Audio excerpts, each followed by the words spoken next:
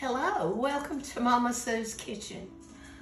I'm going to show you a sandwich today that I love. I got this sandwich idea from visiting our son and his family in Louisiana. And uh, my son's mother-in-law took her daughter and me to a, a cafe there and she said this is a sandwich she loves. Well, I don't know exactly how they make it, but I'm gonna do my best to replicate it. And I'm gonna start off with a slice of smoked provolone cheese. I apologize for my voice. I've had some sinus crud. But anyway, I hope you can understand me. Now, on this, I'm gonna put some canned fig preserves.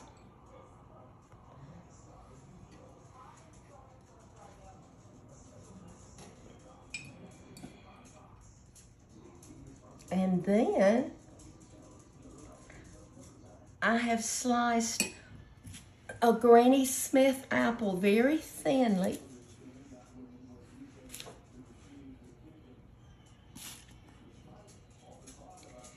And then I'm going to put a slice of Swiss cheese on the other side.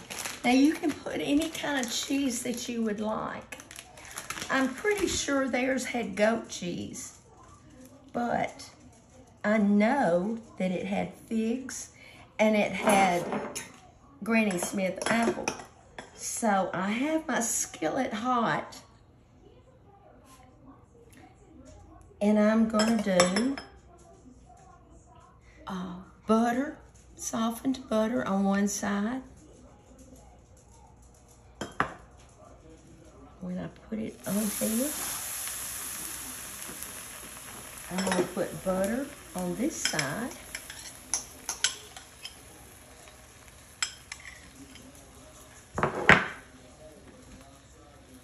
I hope I didn't have it too hot. Maybe I didn't. But y'all, this was such a good cheese, grilled cheese, and they um, served it. It's a little hot, I'll tell you. They served it with the best side salad.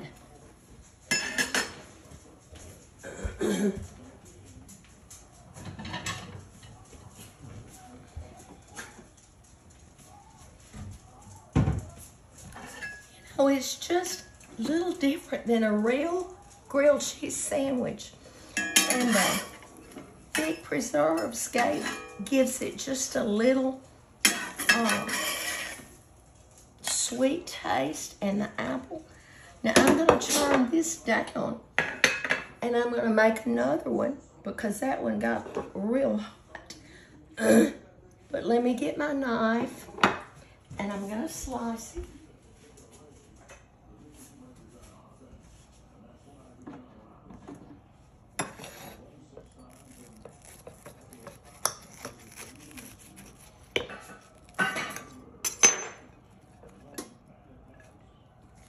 See the apple, the cheese, and the figs. Y'all, that is a delicious, delicious sandwich. Didn't take long to make it all. You can serve grilled cheese with anything you want. I know sometimes I'll have tomato soup. Sometimes I'll just have chips. But I just wanted to show you a quick way you put any kind of jam on it, but put you a little uh, Granny Smith apple and two kinds of cheese and let me know how you like it. I hope you'll remember to be salt and light wherever you go. Jesus loves you. And thank you so much for sharing my page and following me here and home with Mama Sue. I'll be back soon.